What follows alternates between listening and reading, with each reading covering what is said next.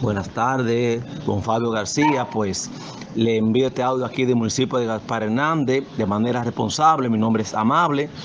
Tengo un, un nieto que practica en una liga deportiva que, que donde están los niños, niñas y adolescentes. Aquí en el municipio de Gaspar Hernández hay tres ligas, pero resulta que hay una situación que se está presentando, donde hay un señor aquí que piensa que esa área deportiva es de él, inclusive ha dicho que es de él. Pero yo pensaba que en esa área deportiva todas las ligas podían interactuar porque hay espacio suficiente.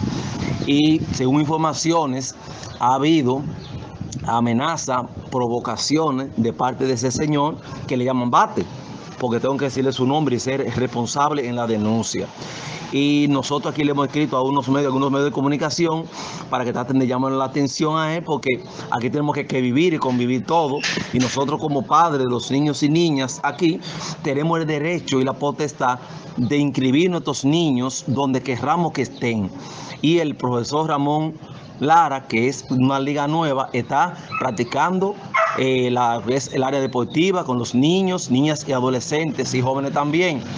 Entonces, en virtud de eso, pues yo le escribo, le mando este audio y le autorizo también a que si usted quiere publicarlo en su programa detrás de rumor, de, detrás de rumor. Queremos, queremos que nuestros niños practiquen con el profesor Ramón, Ramón Lora.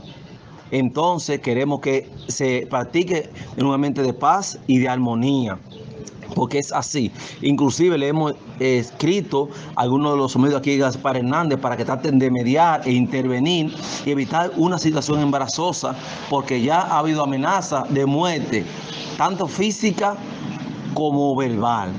Así que le sigo escuchando, don Fabio. Repito, mi nombre es Amable Flete y somos aquí de Gaspar Hernández. Que Dios te bendiga. Y para mañana estamos siendo convocados por parte de dos ligas a una reunión en, en, el área deportiva, nos están convocando a las 4 de la tarde. Que si usted puede venir a esa reunión, pues nosotros como padres pues le damos la bienvenida.